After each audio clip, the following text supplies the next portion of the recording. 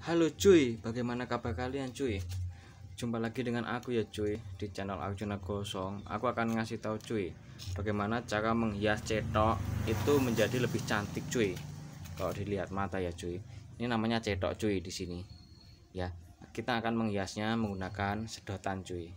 Biar lebih cantik. Sik sebentar. Biar lebih indah gitu loh cuy. Kita harus kasih keindahan cuy nah kayak ini cuy. Tinggal diikat gini doang. Udah terlihat lebih cantik kan cuy? Ya enggak ya kan? Jadi judulnya adalah cara mempercantik cetok menggunakan sedotan cuy. Sekian terima kasih cuy. Semoga bermanfaat